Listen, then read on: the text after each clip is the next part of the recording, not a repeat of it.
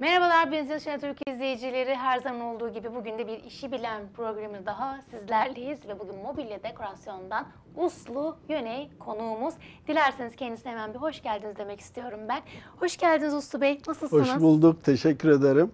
Beni kanalınızda ağırladığınız için size çok teşekkür ediyorum. Biz teşekkür ederiz. İyi ki varsınız. İyi ki de gelmişsiniz. Teşekkür tanıyabilir miyiz? ederim. Tabii ki.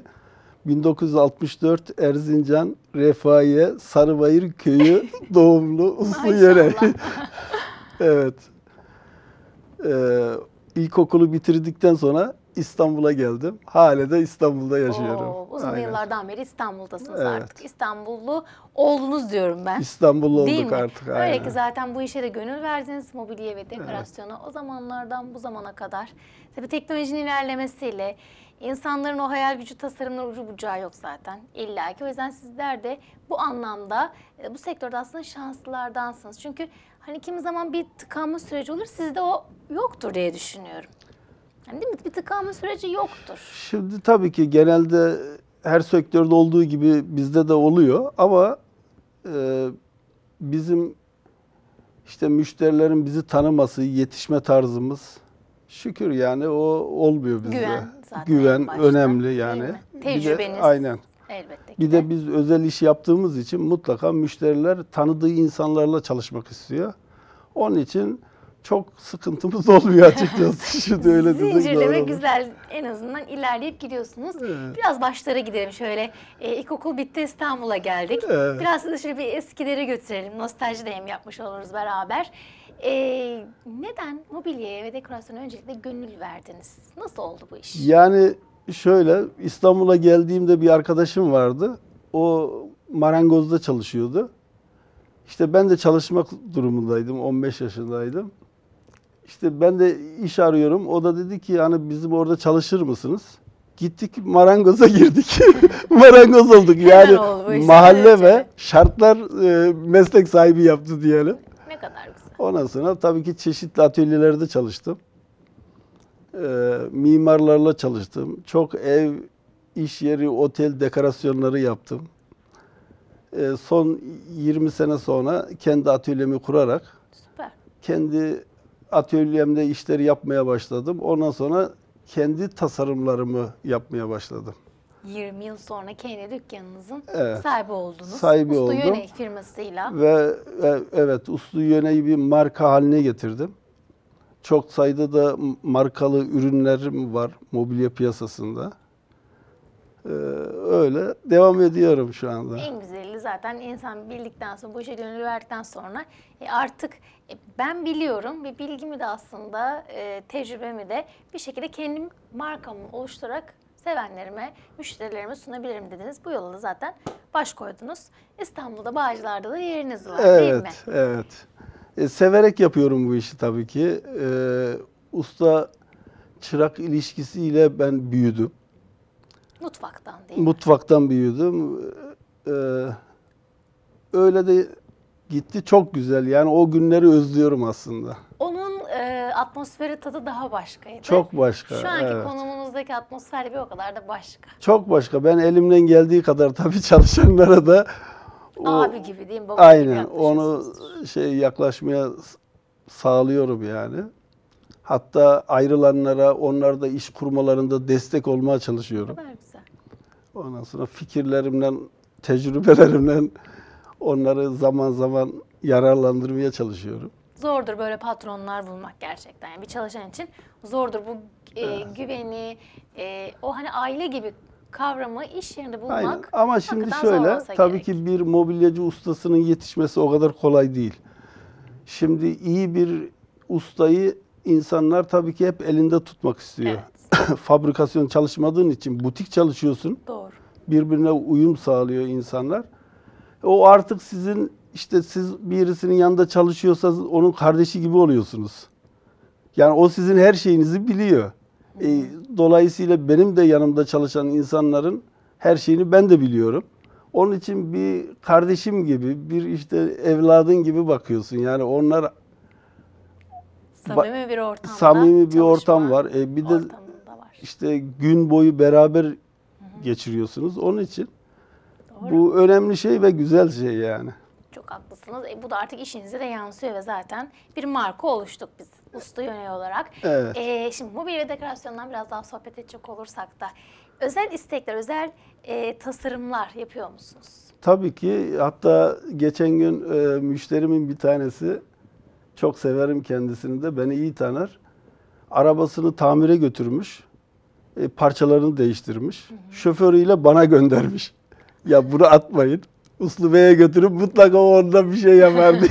yani böyleleri de var. Değerlendiriyorsunuz mu? Tabii ki yani Ne tabii ki. güzel. Ben hiç ya tasarım malzemeyi geri dönüştürmek benim işim zaten. yani e, her türlü malzeme kullanıyorum, yapıyorum. Seviyorum yani. Bir şeyi yeniden yapmak çok güzel bir şey Çöpe yani. gitmemesi için en azından değil mi? Olabilecek bir şeyse onu siz tasarlıyorsunuz. Tabii ki yani yani çokları da bana getiriyor. İşte bundan bir şey yap diyorlar. Yani ne yapayım diyorum. Ya o bilmiyor. Ya sen yaparsın diyor tamam? Bir şey çıkacak ama ne olacağını artık Aynen. size güvenip emin eller sizlerin ellerinize Evet, teslim ediyor. Ee, tamam siz- diyorum. Yapıyorum ürünü ortaya çıkarıyorum. Şaşırıyor. Bittikten sonra güzel oluyor yani. O bana keyif veriyor. Siz öndeki Güzelmiş. kısımdasınız elbette ki. Bir de arkanızda bir ekip var değil mi? O ekiple beraber çalışılıyor. Tabii. Kalabalık bir evet. ekibiniz. Ya 10 tane arkadaşım var. Çalışan arkadaşım. İyi yani. Gidiyor. Ekiple beraber Ustu Yöne firması zaten e, bu işe baş koymuş oldu. Evet. E, o zaman aslında bir hikayeniz var mı? Neden mobilya dediğim zaman? Yoksa arkadaşınızın hani İstanbul'da olup sen de gel demesiyle mi bu işe başlamış oldunuz? Yoksa bir Gerçekten öyle. hikayesi Yani var mı? düşünüyorum. Şimdi mahalle, arkadaş yani insanı bizim o zamanlara diyeyim Evet. eee, yönlendiriyor yani. Ben seçerek hani gitmedim o işe. Öyle gittim. Devam Kısmet. ettim. İyi ki gitmişim. Evet. Bazı şeyler Yani evet. kısmet. Mesleğimi çok seviyorum.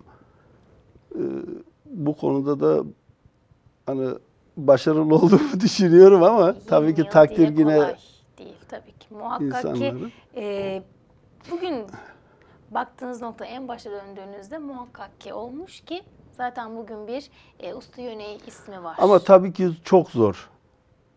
O kadar zor ki yani mesleğin zorlukları çok. Yani Türkiye'de zaten e, emeğin çok şeyi Karşılığı. karşılığı. yok maalesef.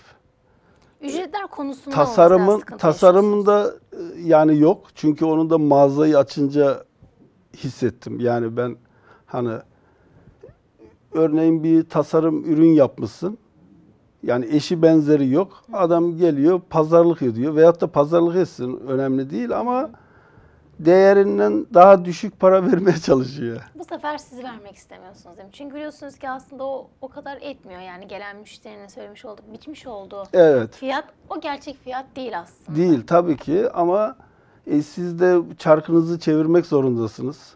Ya bir yerde kesişiyorsunuz. Onun için gerçekten zor yani.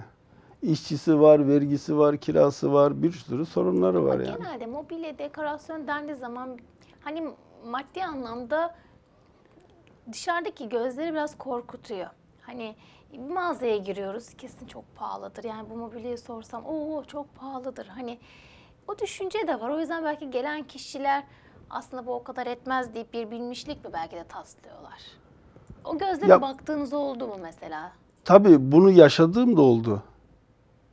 Yani şimdi tabii ki o, o insanın da belki e, bütçesi ona göredir. Ben onlara ona da saygı duyuyorum. E, gerçekten bunun arka planını bilmiş olsa Aslında fazla fazla belki de verir diyorsunuz. yani aynen. Sizler de elbette ki de haklısınız. Ee, diğer firmalardan ayıran en büyük sizce özelliğiniz nedir? Ya diğer firmalardan ayıran düşündüğümde benim kendime özel ürünlerim var. Markalı yani patentli. Kendi ürünlerim var. Bir kere bu çok büyük bir Kimse özellik. çalamaz o tasarımı o zaman. Tabii ki. Ne Aynen. Bir de e, ben tasarlıyorum. Yani bir usta olarak tasarlıyorum bu işi. Ve alaylı olarak Elbette. tasarlıyorum yani. Bu çok A'dan önemli Z'ye bir şey. biliyorsunuz Aynen. aslında her şeyi. Neyin Ha- ne olduğunu. Tabii ki. Hatta İşiniz de zor sizin. Tabii. Hatta çalıştığım atölyelerde eee benden yani benim ayarımdaki ustalar bile dalga geçerlerdi benden. Yani sanatçı, sanat şey diye. Ben hep tezgahımın kenarlarında değişik enteresan ağaçlar tutardım. Seyredeyim, bakayım diye. İlham veriyordu size. Hoşuma gidiyordu yani onu görmek hoşuma gidiyordu. Gülerlerdi bana ama şimdi takdir ediyorlar. İşte sizin bu da bir özellik varmış. yani. Şimdi böyle olunca her şey aslında çok iyi bilince derler ya bilmek her şeyi bilmek iyi midir? Çok fazla belli etme derler her konuda bilgisi olunca. Çünkü siz şimdi dışarı çıktığınızda yoldan geçerken X bir firmayı gördüğünüzde ki dekorasyonuna veya mobilyaya baktığınız zaman ya şuna bak. Bu bu eder mi? İşte şurasında aslında şu var. Şimdi yazık günah. Onu alacaklar, kullanacaklar, o kadar para verecekler. Dediğiniz yerlerde oluyordur muhakkak. Tabii ki yani tabii ki. Yani Karşılaşıyorsunuz. çok karşılaşıyoruz. O kadar ki yani piyasa felaket yani. Çünkü e, fabrikasyon ürünler var. Adam diyor yemek odası işte yatak odası. Adı yemek odası yatak odası. Evet. O da yemek odası, o da yatak odası. Yani Ya isim olarak dediğiniz ama gibi aynı. evet Ama- bilinçli aslında müşteri olması lazım. Yani Doğru. ben de bilinçli müşteri ile karşılaşmak istiyorum. Doğru. Çünkü gerçekten o zaman hiçbir sorun yaşamıyorsun. Bilinçsiz olursa o sadece ismini biliyor. Başka yani kalitesini, olmuyor. işte tasarımını, görselliğini çok şey yapmıyor, incelemiyor. Doğru. İleriye dönük olarak Uslu Yöney firması neler düşünüyor, neler hedefliyor? Sonraki duraklarında neler var? Evet. İleriye dönük e, yurt dışında nasip olursa bir mağaza açmak Ne istiyorum. kadar güzel. Yani Türkiye'de tabii ki bizim e, endüstriyel tasarım ürünleri yurt dışında daha çok şey oluyor. İşte firma olarak, yatırım olarak hedefim öncelikle o. Ama gelecekteki yine yapacaklarımın arasında e, workshop yapmak. Yani insanları dışarıdan getirip atölyenin dilini anlatmak. Yani mobilyacılığı anlatmak istiyorum. Ağaçları anlatmak istiyorum. Ustaların kullandığı aletleri anlatmak istiyorum. Birebir aslında onun eğitimini vermek istiyorsunuz. Tabii ki yani kullandırmak istiyorum. Çünkü bugün e, mesela atölyelere geliyorlar iş için.